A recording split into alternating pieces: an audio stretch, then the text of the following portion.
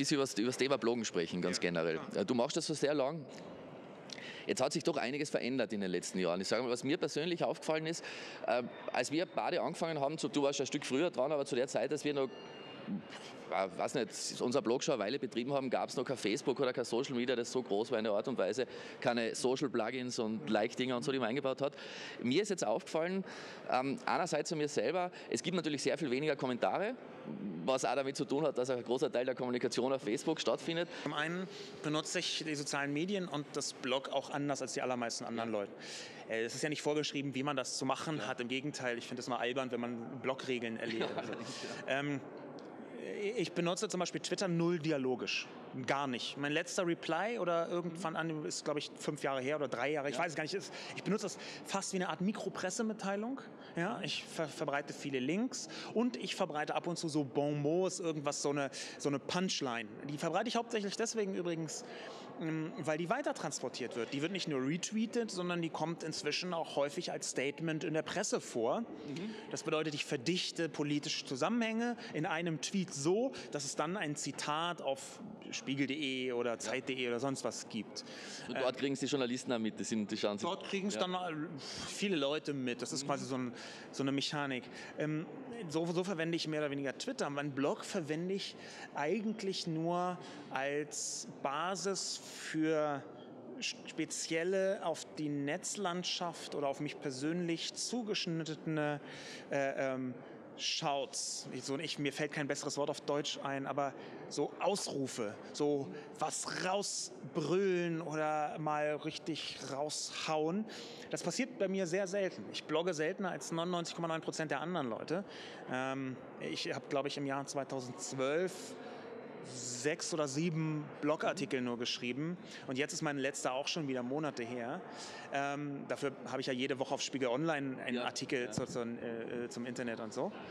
Aber ich glaube, dass die sozialen Medien, um auf deine Ausgangssituation zurückzukommen, natürlich von den Blogs viel abgezogen haben. Dass natürlich auch Kommentare, bei, ist man bei Facebook schon eingeloggt, dann kann man schnell mal so, dass man da aber gegensteuern kann. Und das tue ich auch und das tue ich selbst. Ich tue es so, dass meine Artikel meistens dazu reizen, sofort was drunter zu schreiben, wo es die Leute mitkriegen kriegen, die den Artikel selbst lesen. Mhm. Man möchte also Teil einer Diskussion sein, die aus dem Artikel entsteht ja. und nicht Teil einer Diskussion, die auf Facebook ja. irgendwie ist. Ja. Und das mache ich relativ absichtlich. Und das führt bei mir dazu, ich habe auch jetzt irgendwie immer so zwischen, also so 200, 300 Kommentare kommen bei mir auch schon bei den Artikeln zustande. Äh, und bei Facebook ist es meistens ein bisschen weniger, nicht, nicht immer, aber schon. Insofern, ja, die sozialen Medien haben einen Teil des Blogs weggenommen, aber man kann so ein bisschen versuchen, das zu lenken und zu steuern.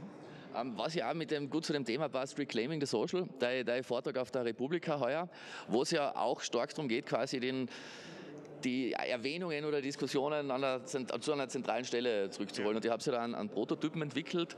Ja. Äh, Finde ich sehr gut. Wie geht es damit weiter?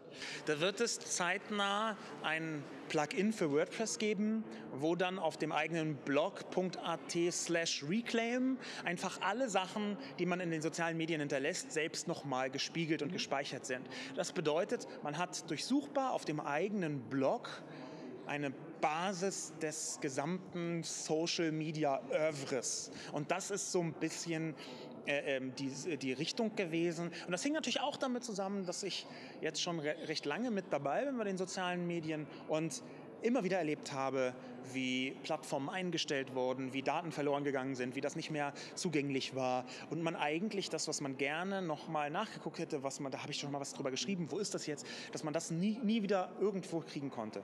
Ähm, und natürlich ein bisschen die eigene Kontrolle zurückzugewinnen. Eben, und das ist ja das, es gibt ja solche Social Wall Plugins, die ganz gut funktionieren, wenn es um die reine Darstellung ja. geht, aber der Punkt bei Reclaim ist ja, dass die Sachen auch selber kostet werden, dann, wenn ich das, wenn ich das richtig im Kopf habe, oder? Richtig. Dass man die nicht nur, genau. nur anzeigt, sondern. Genau. Ja. Wo, wo siehst du die, die Zukunft des Formats Blog generell hingehen? Ähm, also das Blog an sich splittet sich, glaube ich, noch viel weiter auf, als wir das heute kennen. Oder das deutet sich in vielen Bereichen schon an.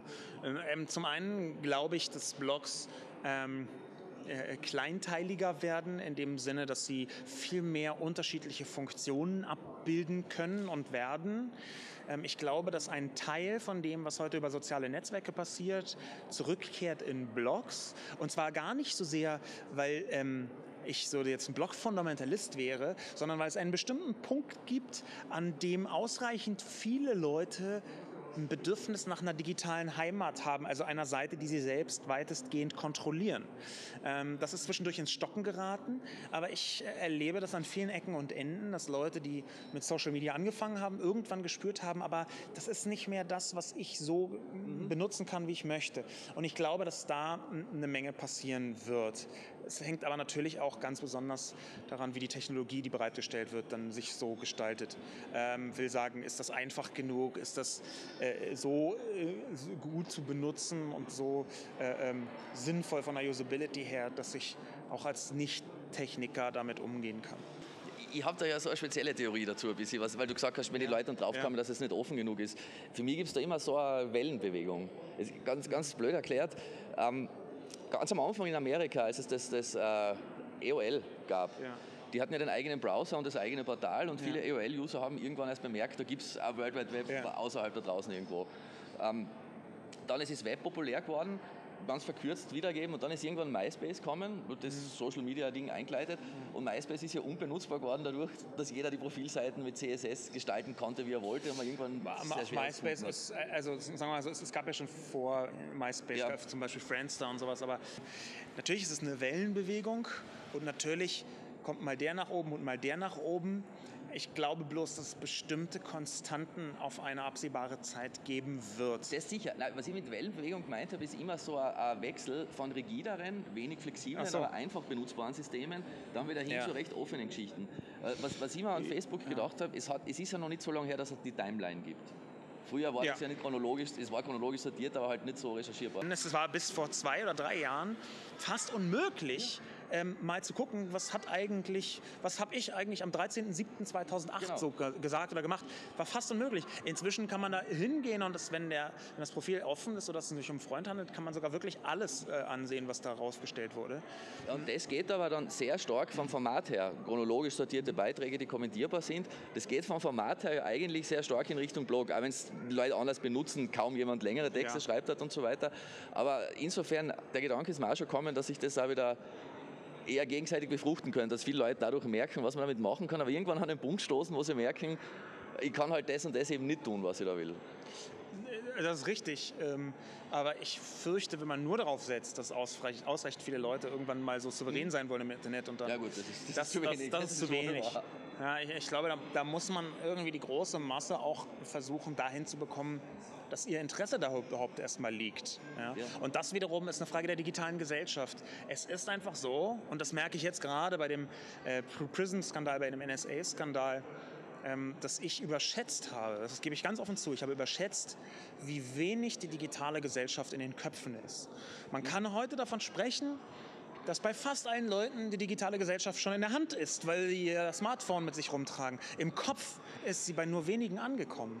Und das zeigt mir unter anderem, dass sowohl in Österreich wie auch in Deutschland dieser Spähskandal nicht für die Aufregung gesorgt hat, wie ich es eigentlich erwartet hätte. Ich glaube aber, dass natürlich solche Phänomene, dass in die Medien hinein Fachwissen kommt, mit dazu beitragen, dass das jetzt einen höheren Stellenwert hat. Und es gibt einen zentralen Unterschied.